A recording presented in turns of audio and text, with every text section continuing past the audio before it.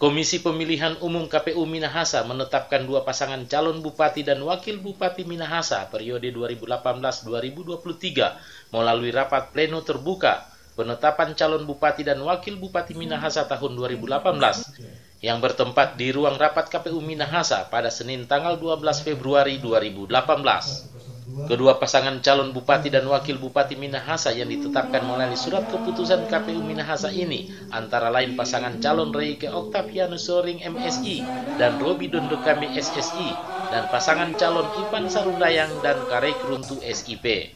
Maka dengan ini Komisi Pemilihan Umum Kabupaten Minahasa mengumumkan hasil penetapan pasangan calon bupati dan wakil bupati Minahasa dalam tahapan pemilihan bupati dan wakil bupati Minahasa tahun 2018 sebagai berikut.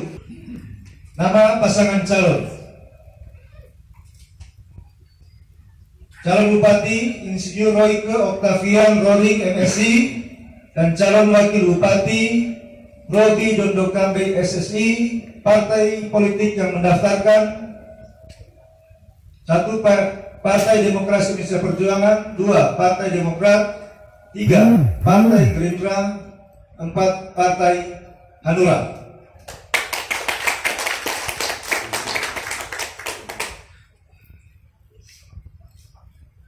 Yang berikut nama pasangan calon Calon Bupati Ivan Stefan Joudri Sarundayang Calon Wakil Bupati Karek Nigel Runtu SIP partai politik yang mendaftarkan. Pertama Partai Golkar. Dua Partai Nasional Demokrat. Tiga Partai Keadilan dan Persatuan Indonesia. Demikian pengumuman ini dibuat untuk menjadi bahan informasi publik sebagaimana ketentuan peraturan perundang-undangan. Dengan demikian untuk pertama kali kepada publik, kepada masyarakat Minasa, kami menyatakan bahwa hari ini ada dua pasangan calon yang telah dinyatakan oleh KPU Kabupaten Minasa sebagai pasangan calon yang memenuhi syarat untuk melaksanakan pemilihan.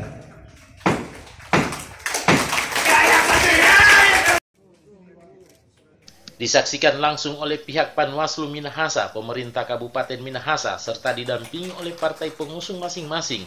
Kedua pasangan calon bupati dan wakil bupati tersebut menerima hasil surat keputusan dari pihak KPU Minahasa.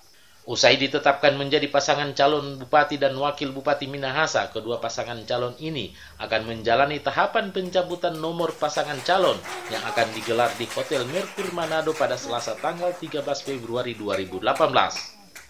Streaming News The TV